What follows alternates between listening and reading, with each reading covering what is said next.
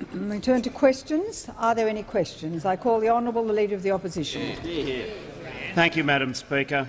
My question is to the Prime Minister. His Liberal government's priority has been to abolish the national debt limit and double the deficit, adding $68 billion for a new spending and changed economic assumptions. Prime Minister, doesn't this demonstrate his government's short-sighted, twisted budget priorities? I call the honourable the Prime Minister. what a cracker. Madam Speaker, our priority is scrapping the carbon tax and boosting family income by $550 a year. Our priority is uh, scrapping the mining tax and boosting investment and jobs right around Australia. Our priority is restoring, restoring the Australian Building and Construction Commission and adding $6 billion a year to our economy and productivity improvements. Our priority is stopping the boats, and it's working. And, Madam Speaker, Madam Speaker, on all of these matters, on all of these grave matters for the security and the prosperity of our country, we are being opposed by members opposite. I call the honourable member for Dobell. Thank you, Madam Speaker. My question is to the Prime Minister. How will fixing the budget strengthen the economy to the benefit of the Australian businesses and families? I call the honourable the Prime Minister. Well, Madam Speaker, I do thank the member for Dobell for her question, and I wish to reassure her and uh, all members of this House that this government's absolute commitment is to build a strong and prosperous economy for a safe and secure Australia. We are scrapping bad taxes, we are building the roads of the 21st century, we are finalising free trade agreements with our major trading partners, and we are restoring a sustainable budget surplus by ending Labor's waste. That's what we're doing. And isn't it so necessary to end Labor's waste because this government's fiscal inheritance was cumulative deficits of $123 billion dollars over the forward estimates period. That's 123 thousands of millions of dollars. There'll be silence uh, on my left. projected debt, a projected debt of 667 billion dollars. 667 thousands of millions of dollars. Madam Speaker, The member for uh, Labor's projected debt was going to be $23,000 for every single Australian man, woman and child. That's the credit card bill for every single Deputy Leader of the Australian man, woman and child that the Leader of the Opposition uh, wanted to leave us with. Well, Madam Speaker, this government, this government understands that you cannot fix the economy unless you fix the budget. And, Madam Speaker, a stronger budget, a stronger budget means lower taxes and more jobs. That's what a stronger budget means, lower taxes and more jobs. Now, Madam Speaker, Madam Speaker, we were very upfront with the Australian people before the election. The school kids bonus would go. The income support bonus would go because you can't give what you haven't got and The you can't give away to people what you just can't afford.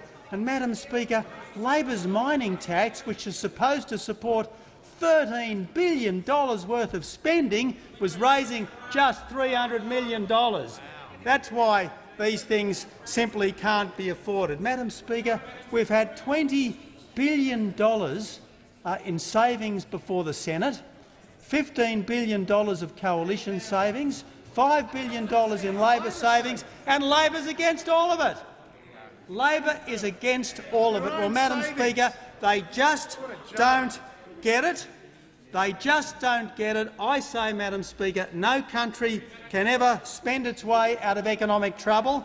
No government can ever spend money member which for it Sydney hasn't will raised. Desist. Madam Speaker, tough decisions And the member are for coming, but they are necessary decisions for the prosperity of our country. We will keep our commitments, and the most fundamental commitment of all is to restore the budget. I call the honourable the member for McMahon. Madam Speaker, my question is to the Treasurer. I refer the Treasurer to his statement in the House that if you get on with the job of fixing the budget, you have a chance of fixing the economy. Why, then, has the Treasurer's budget priority been to double the deficit by adding $68 billion in new spending and changed economic assumptions? I call the honourable the Treasurer. Well, I just want to deal head-on with this great fiction. The Labor Party's record, the Labor Party's record was $190 billion of deficits in five years. $190 billion of deficits in five years. I know that the member for Lilley is hurting about that because he promised there'd be a surplus. In fact, they all promised there'd be a surplus. There was no surplus. There is no surplus. In fact, the legacy of Labor is, over the next 10 years, there is no surplus, there is no repayment of debt. So as you can see, Madam Speaker, uh, the Labor Party legacy of debt and deficit wasn't just for the period they were in government, it's for as far as you can see in the years ahead. $667 billion.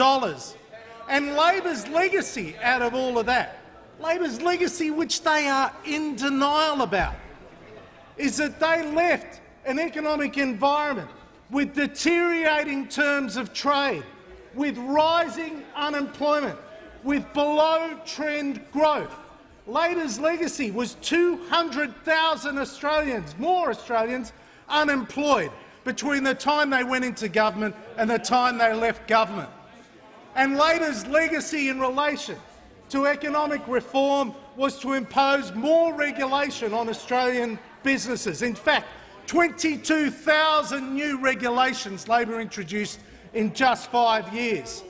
And there's no sense of The member embarrassment. No warned. sense of embarrassment. The problem for our opponents is if they can't be honest enough with themselves about what their legacy really was, they will never be able to deal with the challenges of the future in an honest way. They don't get it. This is their legacy. $123 billion of deficits, $667 billion of debt, and an Australia that is not, that is not as competitive with the world as it should be. That's the Labor legacy, but they don't get it. Instead, they try and create a fiction about their legacy and repeat it and repeat it and repeat it so that eventually they think the Australian people are so stupid that their fiction becomes a truth. Well, the fact is Labor were terrible economic managers. Labor were hopeless at running the economy. Labor were hopeless at running the budget. Wakefield. But sadly, the Australian people have paid the price. I call the honourable member for Wannon. Wannon. Thank you, Madam Speaker. And my question is to the Treasurer.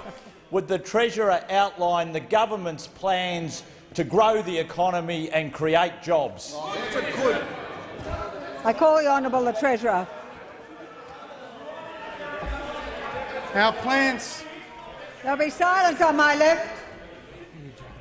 The treasurer has the call. Our plans are very clear. We have been entirely consistent for years now in dealing with what were changing economic circumstances over the last few years and, in fact, the last few decades. And we've been entirely consistent. We said, we said government cannot afford to waste There is taxpayers' too money. much noise on my That's left. consistent line number one. And as soon as Labor started to roll out the pink bats, there was a pause amongst Labor. The Pink Bats program, remember that? Pink, gee, that was a good use of money, except it cost lives, and it was a terrible waste of money. And the, The GP super Chifley- clinics, the we're hearing every day just how well that program went. Only the Labor Party could build medical facilities that don't treat any patients, and yet, and yet they still haven't rolled out the full The member program. for Wakefield will desist And or of leave course, under 94A. what waste we've seen in the NBN. What a terrible and sad story. A litany of waste and incompetence associated, associated uh, with a bill that well exceeds $70 billion if it remained on track. And the net result out of all of that, $667 billion of debt, $123 billion of deficits over the next four years, on top of $190 billion of deficits over the last five years. $190 billion of deficits over the last five years is the equivalent of 200 major new teaching hospitals across the country. And what are we going to do? We're going to fix the mess. Tough decisions will have to be made, Madam Speaker. Tough decisions will have to be made because sooner or later the truth was going to out about the budget. And the record of Labor, the record of Labor is rich, but we have a plan that focuses on growth and jobs. We are putting $1.5 billion into West WestConnex, which will in itself uh, deliver 10,000 direct and indirect jobs during construction, including hundreds of apprenticeships. We're focusing on other infrastructure such as the East-West Link in Melbourne, $1.5 billion, 3,500 construction jobs, the $1 billion Gateway motorway in Brisbane, again delivering real productivity benefits and delivering real jobs. We want to re-establish the Australian Building and Construction Commission. Get rid of the corruptions in the unions. How important is that? And we are going to abolish the carbon tax and the mining tax. We have a plan for jobs. Labor is reckless with the economy. I call the honourable member, the honourable leader of the opposition. Thanks, Madam Speaker. My question is to the Prime Minister. Why is the government's priority a plan to bring back knights and dames, but there's no plan for Alcoa workers, for car workers, for Qantas workers? Prime Minister, why are his Liberal government's twisted priorities so out of touch with the needs of ordinary Australians? Before I call the Prime Minister, before I call the Prime Minister, I simply want to say that there was silence, as it should be, on my left for the asking of the question. I expect the same silence for the answer. The Prime Minister has the call. The, the member will resume his seat. I name the member for Isaacs.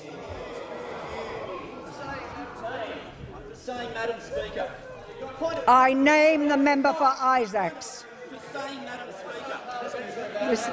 The Leader of, Government, uh, the Leader of the House. I move that the member be excused from the service of the House.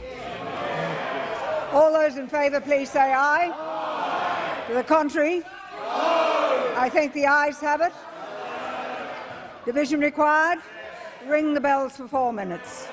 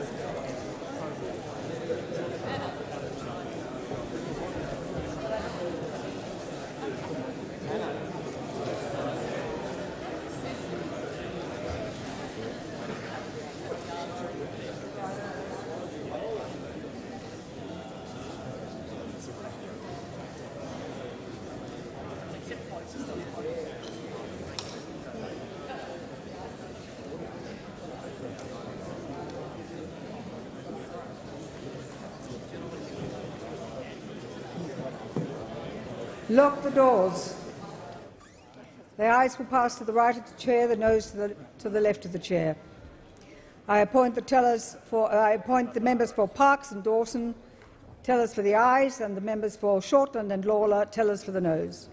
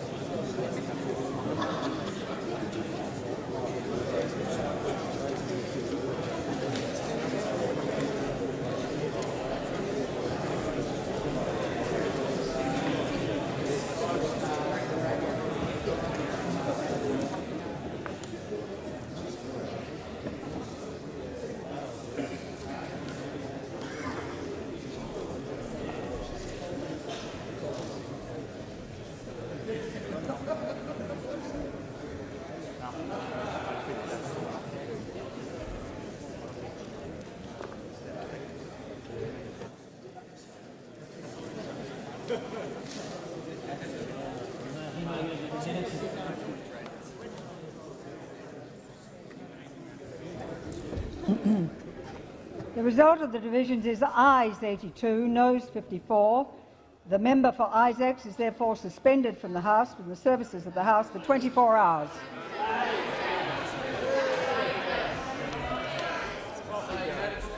I call the manager of opposition, of opposition business.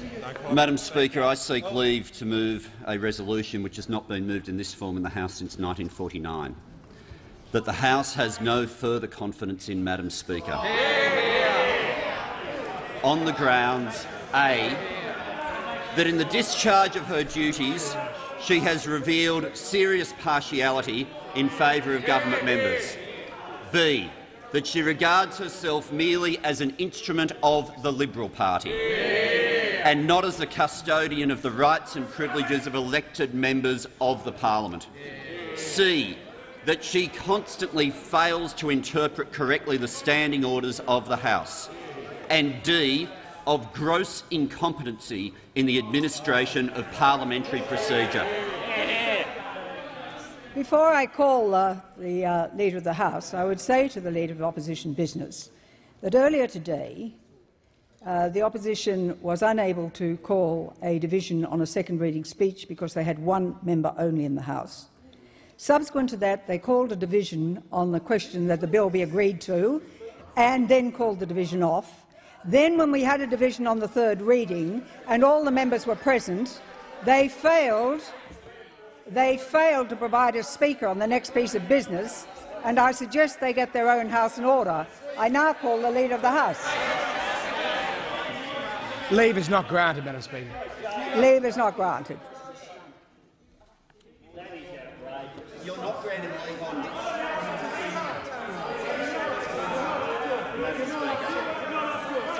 The manager of opposition business has the House, has the call. Madam Speaker, I move that so much of the standing and sessional orders be suspended as would prevent the honourable member from Watson from moving the following motion forthwith.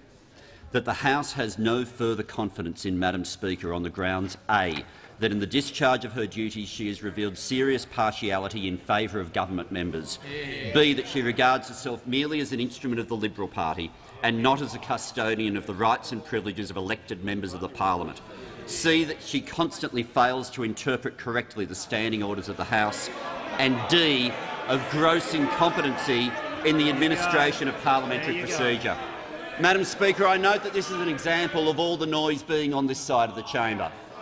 The reason these standing orders need to be suspended on this, Madam Speaker, in the first There will be instance— silence on my right so that the Speaker may be heard. Madam Speaker, what has just happened in this House is worthy of, standing, of suspending standing orders. Never before in the history of the Commonwealth of Australia has someone been named for calling out Madam Speaker. That's what just happened in this House. Under no definition of what is within House practice or the history or anything that has happened in this parliament since 1901 has anyone claimed that the words Madam Speaker or Mr Speaker were unparliamentary. And yet not only he didn't just get warned, he didn't just get thrown out, he got named for calling you Madam Speaker. Yesterday we had a member of parliament thrown out for laughing. Madam Speaker, we have spent months watching you laugh at every joke from the ministers at the expense of members of the opposition. But somehow, somehow that is an appropriate way to conduct the role. Madam Speaker, I don't dispute what you said before about the fact that there are times in this chamber when things are cooperative. And the example you gave this morning, you articulated in a way that I would not disagree with one bit. But I do disagree with your decision to make that argument from the chair before the Leader of the House decides whether or not to grant leave. Because that, the comments you made, Madam Speaker, were reasonable comments for someone on either side of the chamber to make, but not reasonable if you're meant to be the Speaker of the House of Representatives. Madam Speaker, it is acknowledged on both sides of this House and throughout the country that you are a formidable parliamentarian. That is acknowledged. It is acknowledged that for your entire time in opposition and when you've sat on those benches, you have been one of the people who has been able to come to the dispatch box and launch scathing and effective attacks on us as the Labor Party, and you are, you are respected as a member of parliament for that. But we cannot support you continuing to behave that way when you want to sit in the Speaker's chair. Madam Speaker, it has been, and for the claim of stunt that I heard from the front bench, Madam Speaker, we, we have not rushed to this.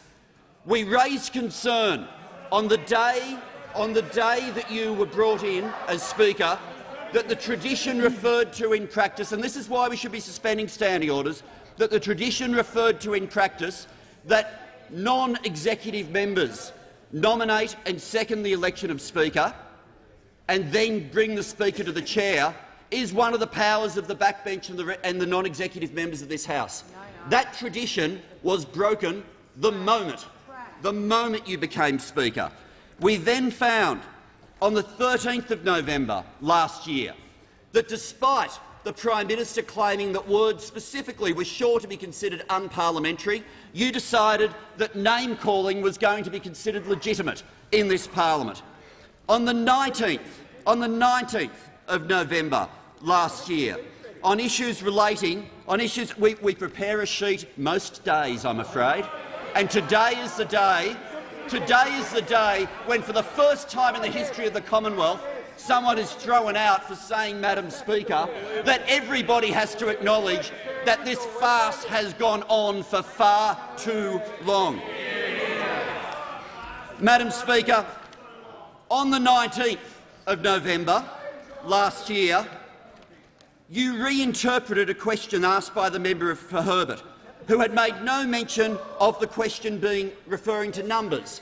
I raised a point of order saying that there was an issue of direct relevance, and your response was the question was one that was pertaining to numbers, as was clearly indicated by the questioner.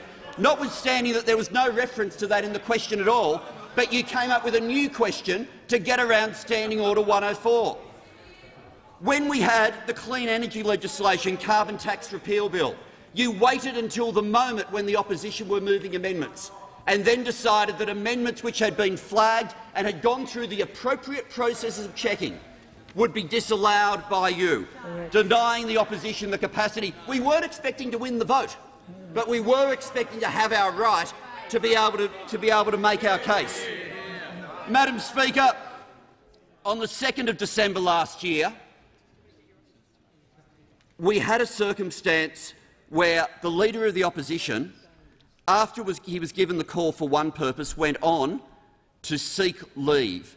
You claimed that you had called on him to resume his seat prior, prior to him saying, I seek leave, and we asked you to check the tapes.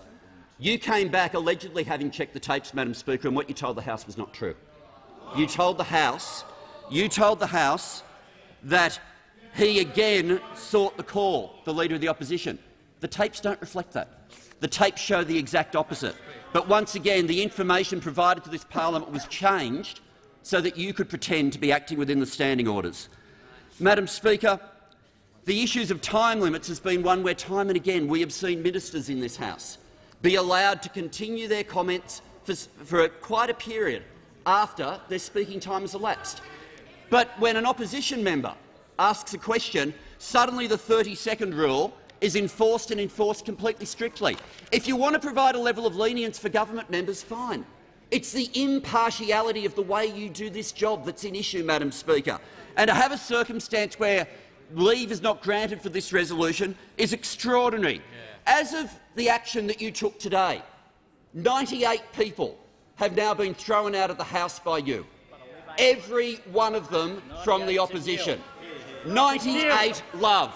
No speaker in the history of federation has a record like that. Madam Speaker, Madam Speaker, we have had a situation where we've had amendments. I remember we had an amendment that I moved to a resolution from uh, the member for Denison, where you ruled, in answer to a point of order from the Leader of Opposition Business, that the, that the amendment was too far away from the original motion, notwithstanding that on the 2nd of December last year you allowed the Leader of the House to move a, an amendment to a resolution from the Leader of the Opposition that completely reversed, completely reversed everything that was in the first resolution. Madam Speaker, if I raise, if I stand to raise a point of order, you wait until the minister has completed before you hear the point of order. Madam Speaker, at each issue, at each part of this, the practice, the practice that is followed is the same on every occasion. You're not a conservative. The Prime Minister right now is laughing, but he won't be thrown out, nor should he be. But can I tell you, when he defends knights and dames, it is really funny, and we will laugh. We will. But this resolution itself, this resolution today, Madam Speaker, is not one, is not one that people rush to move. This is a resolution, and every time, whether it's a suspension of standing orders or whether leave is granted, on every occasion that a resolution of this nature is moved, it is carried forever in practice, for the very simple reason that while opposition members, when they get to this point, don't expect to win the vote, they do expect to have a situation where everyone in Australia knows bias when they see it. Yeah. And, Madam Speaker, we don't doubt for one minute your effectiveness as a warrior for the Liberal Party, but that is not the job you chose to take on. And yet, in the Speaker's chair, you have continued, continued to act as though enjoying the victory for your own side is your job. Madam Speaker, the parliament deserves more than that, and the parliament cannot, cannot have confidence in a speaker who refuses to be impartial. Is the motion seconded? I, I second The the, member for motion and reserve my, the call. Thank you, Madam Speaker. I second the resolution and reserve my right to speak. I call the Leader of the House. Well, thank you, Madam Speaker, and I do rise to defend uh, your position as Speaker and to speak against the suspension of standing orders motion moved by the Manager of Opposition Business. And I would say to the government members that we regard this vote as a vote of confidence in the Speaker, and when the vote is taken, as far as the government is concerned, this will be a vote of confidence in the Speaker, and I am very confident that the Speaker will win.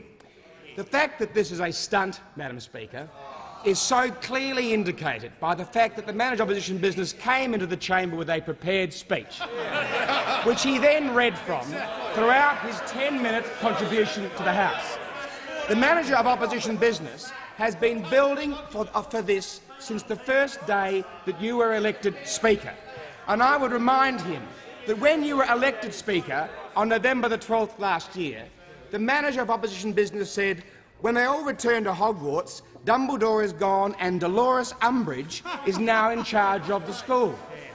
From the first day that, the, that, the, that you were Speaker, the manager of opposition business and his cohorts on the front bench, like the member for Grayndler, the member for Isaacs, the member for Sydney, the member for Ballarat, have been deliberately trying to create an issue around the speakership by being rude, by being rude, by being aggressive, by behaving quite intolerably badly towards a woman in the chair. Now, Madam Speaker, the member for Sydney had cause to say in, in, August 2012 about the then Leader of the Opposition that perhaps he had trouble with strong women in public life. She said, I think he does find it very difficult that he's dealing with two women in positions of authority, being then the member for Chisholm and the Prime Minister. But quite frankly, the Leader of the Opposition never spoke to either the member for Chisholm or the former Prime Minister in the way that the member for Isaac speaks to you in the chair, the way that, not as badly, the member of the opposition business. The member for Isaacs is, is a bully and an aggressive one at that, and he has deliberately, deliberately been trying to be rude to you from his position. His shouting is over the top and loud, and it was all, I think, part of a deliberate strategy. May I say, Madam Speaker, I'm no sook. I've been manager of opposition business for five years. I was manager of opposition business for three years in a hung parliament. I hold the record for being ejected from this place by speakers in the parliament. But I tell you what, I never complained. Never. I never complained. I didn't stand up like a great big sook like the manager of opposition business did today and say like one of my four children that I've had my toy taken away from me. I know opposition is tough. Opposition is not challenging. It's not satisfying. You don't get to make any decisions. Paul Keating put it very well in a debate on the matter of public importance in response to the then member for Flinders, Mr Reith, when he said honourable members opposite have three more years of their lives trotting around in opposition, three more years in the corridors at night, wandering in and out of each other's offices, having cold cups of tea at 11 o'clock. and you fall silent because you know it's true. the sadness is, the, the sadness is for the opposition, you lost the election. You have three years, hopefully more, in opposition, and you just have to get used to it. And when you're in opposition, you do get thrown out of Parliament more often than members of the government. But when I was in government, I was thrown out of the chamber, as was the Leader of the House. As was the Leader of the House when he was the Leader of the House. And we just put, you have to put up with it. That's the way it is. And you should hold the government to account. You should hold the government to account because that's what a good opposition does. And the crossbenchers should do it as well. But when you speak to the Speaker, when you deal with the Chair, the way you deal with the member for Mackellar is utterly unprecedented in this place. I've been here for 21 years. I've been here for 21 years and I have been shocked and appalled, as I hope a gentleman, with the way that you speak to the Speaker. And the fact that the member for Isaacs was named today was thoroughly deserved, Madam Speaker. Thoroughly deserved. And for the first time that the Speaker names a member for you to move this motion of no confidence is bizarre. It is ludicrous. It is over the top. It is a stunt. It is designed to hide the fact that the opposition doesn't have anything to say about the issues that the public care about. you have nothing to say about lowering taxation, about cutting regulation, about abolishing the carbon tax, about reducing the cost of living pressures on Australian families, about returning the rule of law to the workplace. You have nothing to say about these issues. So therefore, the tactics of the opposition has been one of distraction, one of trying to create distractions from the fact that they stand for nothing. And my advice to the opposition is you've got three years to learn why you lost the election in 2010, why you lost the election in 2013. In 2010, you only hung on to power because the opposition was able to negotiate with the crossbenchers. So after one term, you had less seats than the, than the Liberal Party and the National Party in this House, and you've made no effort. The opposition has made no effort, Madam Speaker, to do the hard work of opposition to prepare policies to think about what you stand for. Graham Richardson tried to give you this advice in The Australian a couple of weeks ago in one of his columns. You should listen to Graham Richardson because he was part of a successful Labor government. Now, none of you were, I know. You were part of a very failed government. It can't have been easy for the former cabinet ministers sitting opposite or former ministers Member to accept that after six years they were thrown from office in a landslide defeat, and after three years they had less seats than the, the other side of the House. It's hard for them to accept that, I know. But quite frankly, Madam Speaker, they have to accept it and get on with the fact that if they want to ever serve in government again, hopefully a more successful one than the last one, they have to do the work. Madam Speaker, when we were in opposition, the member for Scullin, the former member for Scullin, was in, uh, in the chair. He lost a vote on the floor of this House. He lost a vote on the floor of this House in, in throwing out a member. It was the member for, uh, for Paterson, member for Paterson, Bob Baldwin, the member for Paterson. The Leader of the Opposition immediately moved a motion of confidence in the Speaker. Immediately, straight after.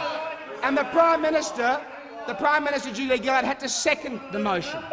Because Labor's instinct wasn't, what, wasn't to protect the Speaker. Labor's instinct wasn't to uphold the dignity of the office of Speaker. It was to use it as a pawn, as a negotiating tool, to get the member for Fisher to come over to this side of the House and sit in the Speakership to save you one vote. That's how Labor thinks the Speakership should be treated. And it didn't actually work very well for them, I hate to tell them. That's another piece of advice. That didn't go so well, did it? Unfortunately, the member for Fisher did not measure up as well as you had hoped. Now, Madam Speaker, the Madam member Speaker, on my left will desist. the Labor Party's that tactics in this for place Rankin, have who been has been chaotic warned. from day, from day one. Their questions are very broad. Their questions should be ruled out of order. But quite frankly, the Speaker has been very tolerant. The questions, if the questions being asked by the opposition, if I had asked them when we were in opposition, I would never have been able to get away with them. They are full of argument, they are full of abuse, and yet the Speaker has been very tolerant and very generous. And the reason why the Speaker has been tolerant and generous to the opposition is because she was a very effective member of the opposition over a long period of time, an effective member of government. And she knows that for democracy to work, question time needs to be allowed to run, to be allowed to flow. So she has, because of that innate understanding of how our democracy works, the Speaker has allowed the opposition to get away with a great deal more than I was ever allowed to get away with in opposition. That's true. So, Madam Speaker, rather than trying to make a political point and distract the public from their paucity of ideas by moving this motion, they should be actually congratulating you in the chair as a speaker, because you have been much more generous to the opposition than I would have been if I was in your place. And woe betide that day if it ever comes, Madam Speaker. Madam Speaker, I at least I hadn't prepared for the speech There'll like be- you have. Mine are written there'll be silence not on my left. Not the speech that you've got. Madam Speaker, my advice to the opposition The member for is to get on with the job of opposition. As one person once said, opposition is slow boring through hard boards, and it is. It's not something you can just deal with tactically. And this is a tactic, this is a stunt, this is simply designed to distract the House and the public and the people from the shabby tactics of the Labor Party. So we do have confidence in the Speaker. We have absolute confidence in the Speaker. And as long as the Speaker wants to serve in that role, we will support her in the government from this side of the House. And the vote that we are about to take is a vote of confidence in the Speaker. I'll be voting with the Speaker, and I assume the government will be too, and I'd ask the crossbenchers to, to turn their backs on this shabby stunt and to support the Speaker. The member for Grayndler.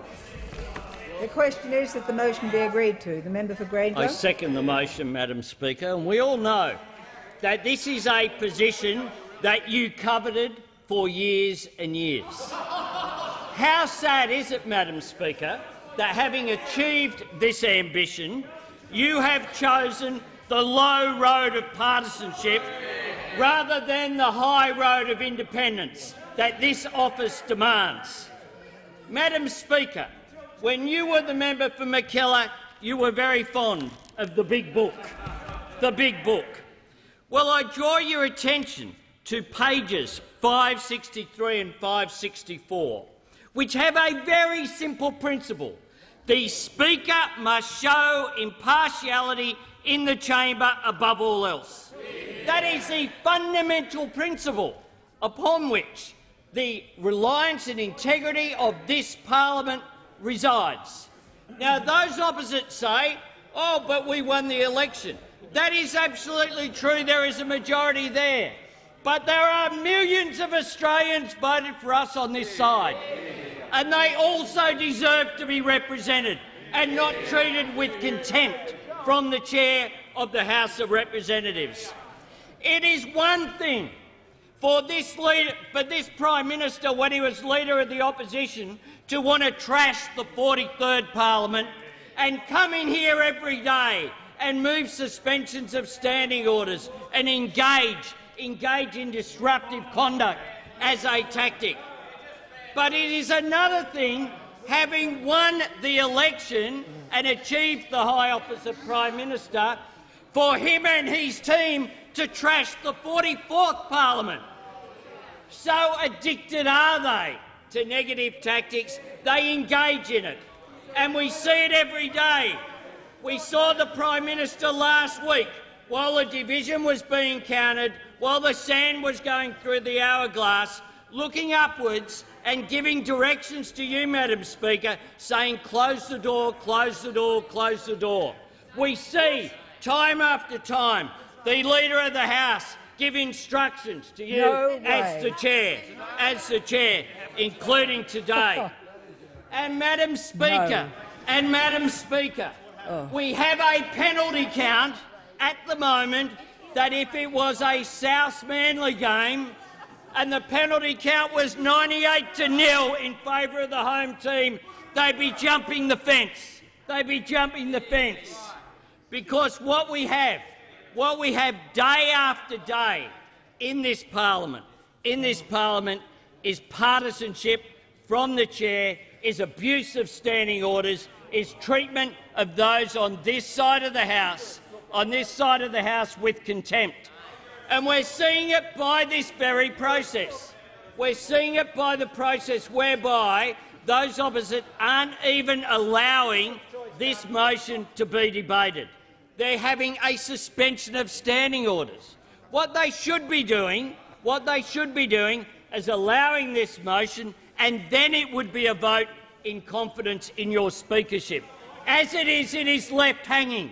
It is left hanging as a result of them not even allowing remind, I would remind the proceed. member to, that he must address the motion as he is I am, and that's why standing orders should be suspended. And you have just given a cracker of an example, Madam Speaker, a cracker of an example of your partisanship. Here I am saying why it should be suspended so that we have the proper debate and we have a vote in your speakership and whether you have the confidence of the House and you interject from the chair, from the chair, Madam Speaker, in order to slap that down. Well, today we had, in the naming of the member for Isaacs, the naming of the member for Isaacs, an unprecedented action taken for such a minimal, a minimal statement.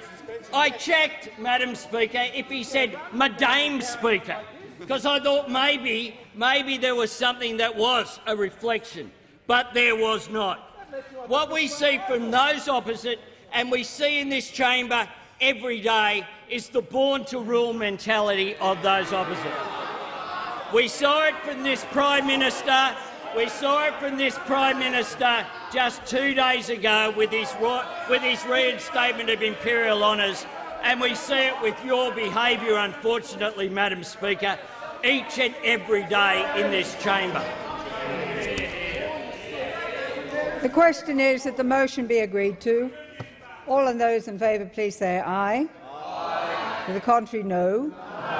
I think the noes have it. Division required. Ring the bells for four minutes.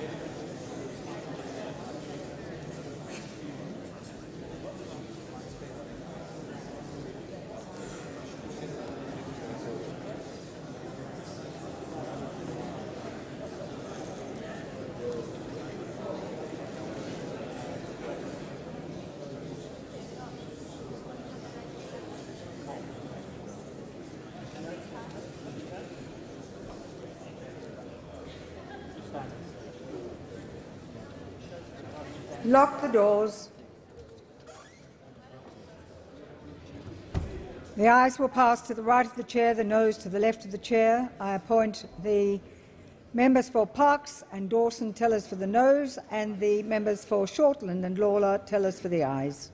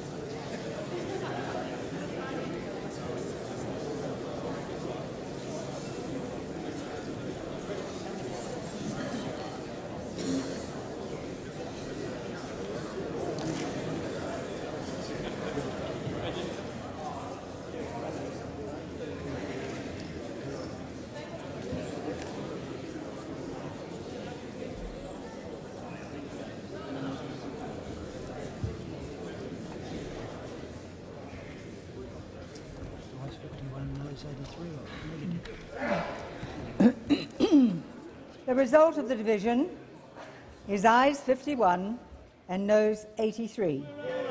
The question is therefore negatived.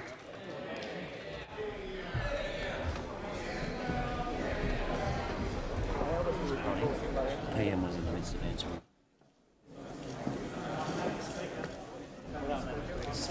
I'm giving the call to the Prime Minister, who is in the middle of answering a question.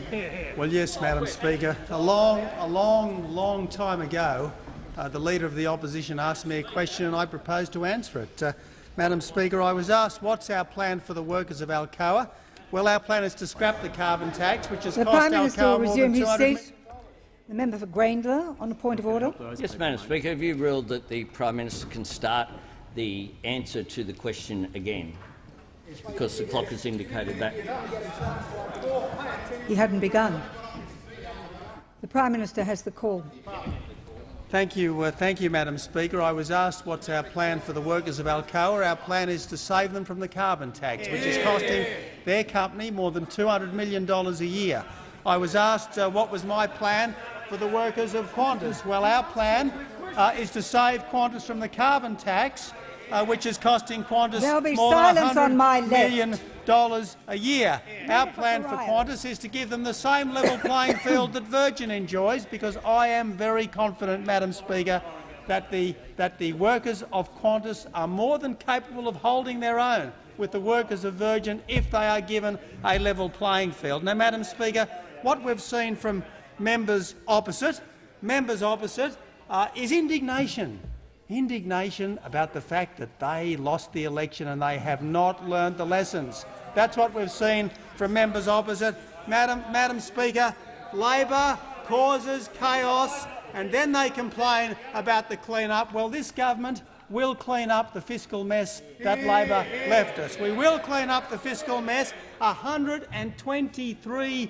billion in cumulative deficits over the forward estimates, 123,000 millions of dollars, 667 billion dollars in projected debt. In projected debt, that's $23,000 for every Australian man, woman and child. Madam Speaker, this is a big challenge. This is a big challenge, but we are up for it. Yeah. We are up for it, Madam Speaker. That is what the Australian people voted for. That is what the Australian people expect, and we will not let them down. I call the honourable member for Denison. Madam Speaker, my question is to the Prime Minister.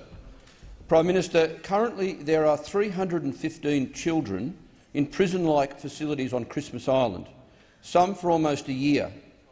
According to the President of the Human Rights Commission, conditions are so bad these kids have stopped talking and refer to themselves by number rather than by name. Prime Minister, when will this stop? When will Australian governments stop being responsible for such abuse of children? I call the honourable the Prime Minister. Well, Madam Speaker, I, I, do thank the member for Denison for his question. Uh, I know this is a subject which he takes very, very seriously, and I know that uh, this is a subject that we all take seriously, but I accept the passion uh, and the compassion uh, that the member for Denison uh, brings uh, to this particular subject. Now, none of us want to see anyone in detention. We certainly don't want to see children in detention. And, Madam Speaker, I can inform the member for Denison that at the end of the Howard government's era, there were only four people in immigration detention who'd arrived illegally by boat, and none of them were children. None of them were children. Now, I regret to say, Madam Speaker, that in the period between this time and that time, more than 50,000 people arrived illegally in Australia by boat, uh, more than 50,000, including 8,000 children. And I deeply regret the fact, I deeply regret the fact that so many, so many people, uh, including so many children, took this very dangerous oh, journey. Took this very dangerous journey. But, Madam Speaker, let's be blunt.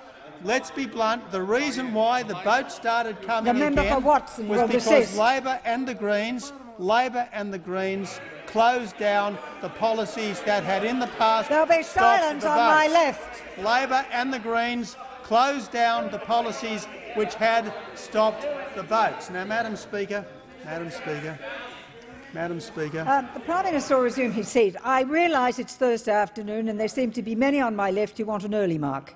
I'll be quite willing to uh, help them have that early mark if we don't have some silence. The Prime Minister has the call. Now, Madam Speaker, I am, I am looking forward to the day when no one is in immigration detention. That's the day I'm looking forward to. And the way to ensure, the way to ensure that no one is in immigration detention is to stop the boats. And that's exactly what this government is doing. That is the way to ensure that never again do we need to put uh, women and children uh, and men uh, in immigration detention because they've come illegally to this country by boat. And, Madam Speaker, the boats are stopping, and I am pleased to tell the member for, member for Denison that four detention centres have already closed. They have already closed because of the good work uh, of the M Minister for Immigration and Border Protection, and there is more good work still to come. I call the member for Durack. Thank you, Madam Speaker. My question is to the Treasurer. Will the Treasurer outline the state of the budget and the importance of governments living within their means? How will a government living within its means help West Australians? I call the Honourable the Treasurer. Well, thank you very much. The member for Chifley will desist or leave. The choice is his.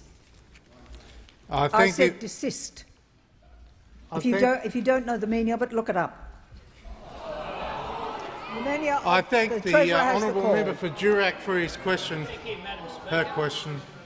The Treasurer will resume his seat. On a point of order, Madam the member for Speaker, Grayndler. yes, reflections on members. Right. Reflections on members. If the member I thought that, that the, that meant that he was not literate, I withdraw it. I call the Treasurer.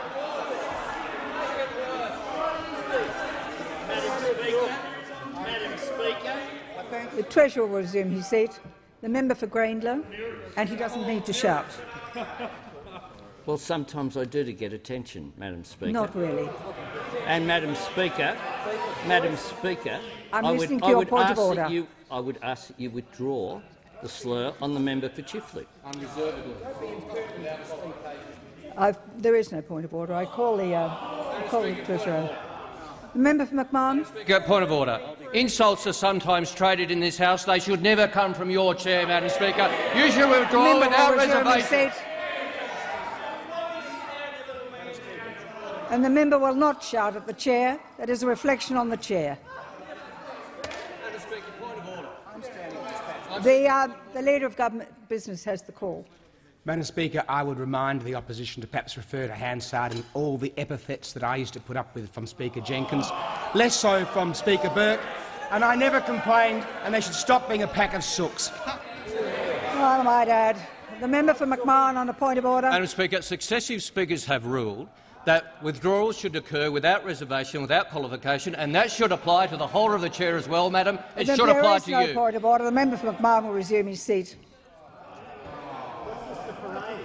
Um, I would refer the uh, honourable member to page 164 of the, of the uh, practice and page 189, and he'll take his seat. The member.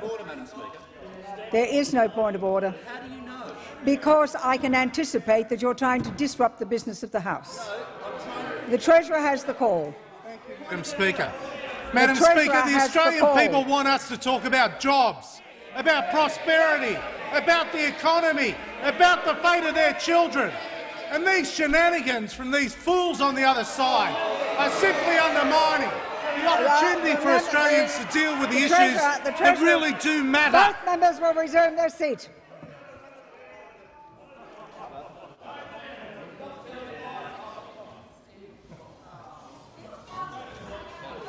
Now, the, uh, the member will resume his seat.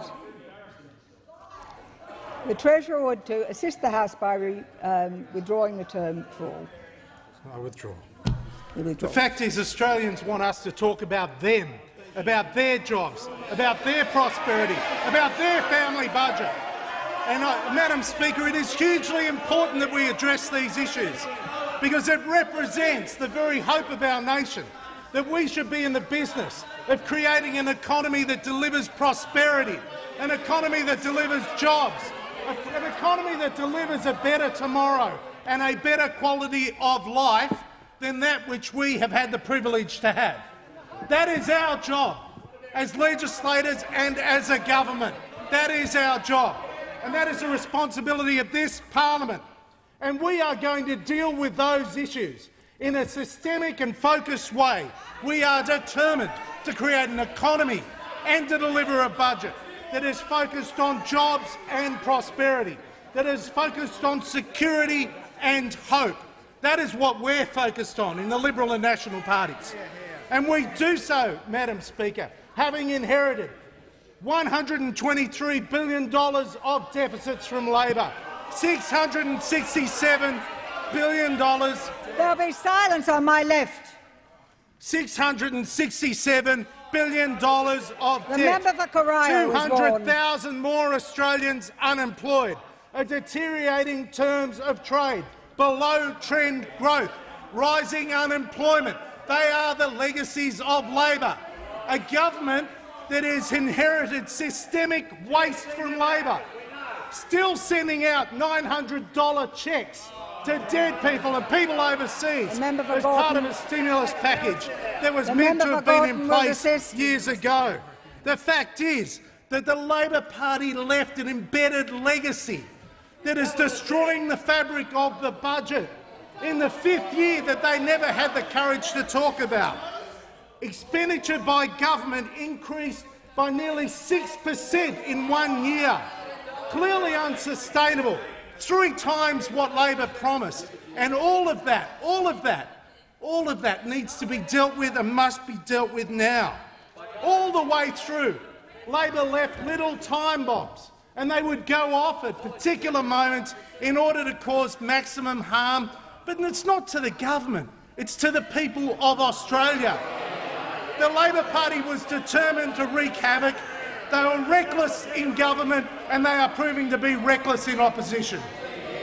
I call the, leader of the, the honourable Leader of the Opposition. Thank you, Madam Speaker. My question is to the Prime Minister. Even former Prime Minister John Winston Howard believes that the Prime Minister's plan to play knights and dames is anachronistic. Why won't the Prime Minister get his priorities right and start focusing on the jobs of people who have been losing their jobs since you got elected? The call goes to the Honourable the Prime Minister. Well, Madam Speaker, the only people who are obsessing about honours are members opposite, Madam Speaker. They are the only people who are obsessing about honours. Now, Madam Speaker, now, Madam Speaker, Madam Speaker, the Leader of the Opposition will desist. The Prime Minister has the call. The member for Wakefield. Now, Prime Minister has the call. Now, Madam Speaker, Madam Speaker, as is well known, the former Prime Minister, Mr Howard, has no greater champion than myself. I am John Howard's greatest champion, but in, but in case, but in case, but in case members opposite haven't noticed, uh, this is not the fifth term of the Howard government. This is not the fifth term of the Howard government. Madam Speaker, Madam Speaker, the Howard government Madam Speaker. The member for Wakefield will remove himself under 94A. Madam Speaker, the Howard government was a great government in its own way, and this government will endeavour to be a good government in our way, and that is exactly what we're doing. But, Madam Speaker, I tell you another respect uh, in which this is a different government from the Howard government we have inherited a much worse fiscal legacy than the Howard government ever did. A much worse the Prime fiscal Minister legacy. Will resume his seat. The Manager for Opposition Business. Madam Speaker, understanding Order 104A, there is no way that this is directly relevant to the question that was asked. The question was about priorities. You asked the Prime Minister to explain what his priorities were. So that means anything's fine? It means that the Prime Minister has answered the question. The Prime Minister has the call. Now, Madam Speaker, Madam Speaker, John Howard and Peter Costello inherited Kim Beazley's $10 billion budget black hole. If only we were so lucky. If only we were so lucky. If only it was just $10 billion. Well, Madam Speaker, $123 billion in cumulative deficit we have inherited. The Prime Minister will resume his seat uh, the Manager of Opposition Business on Can the Prime Minister order. at least be brought to the current decade? There is no point of order. It's abuse of the standing orders. Prime Minister has the, has the call. Madam Speaker, Madam Speaker, Peter, Peter Costello and John Howard only had $96 billion worth of Labor debt to deal with. We've got $667 billion worth of Labor debt to deal with it. Madam Speaker, Madam Speaker, I am full of admiration. I am full of admiration for John Howard and Peter Costello. They were great leaders of this country. But, Madam Speaker, these times are different. The challenges that we have inherited from a much worse Labor government than the one uh, that they succeeded are much bigger. But, Madam Speaker, we will rise to these challenges and we will, we will fix, we will fix we will fix the fiscal hole that we have inherited. And Madam Speaker, and Madam Speaker, and Madam Speaker, I tell you, if, I, if, only, if, I, if only he had the class of his mother-in-law, that's all I can say. On that note, Madam Speaker, I ask that further questions be left on the notice paper. The Prime Minister will resume his seat. Speaker. I called. I called. Madam Speaker, what? I'm not here. Um, the uh, member for Grayndler has been on his feet raising points of order that were not legitimate points of order. Does he have one now that is? How do you know, Madam Speaker? Before Because I've heard them already. And I would refer you to page 189 of the practice. I can Take it from you. I'm aware of practice, Madam Good. Speaker, and one And of the things that, that happens in not just in You will not argue with the in, chair. Take your seat. Resume your seat. Then give the point of order. The point of order is one of the things we do in this place is not attack families. Is not attack families of members. That is one of the fundamental things, The uh, lines that for we never cross. The member for We never Grayndler will cross. not resume his seat. Resume your seat. The Prime Minister has the call. Madam Speaker, uh, I, I, obviously offence has been taken. I unconditionally withdraw. The Leader of the House. Madam Speaker, documents are tabled in accordance with the list circulated to honourable members earlier today. Full details of the documents will be recorded in the votes and proceedings. And, Madam Speaker, uh, I move that leave of absence be given to every member of the House of Representatives from the, from the determination of this sitting of the House to the date of its next sitting. And can I, in doing so, Madam Speaker, congratulate you on the dignity you exhibited in the face of very trying circumstances today.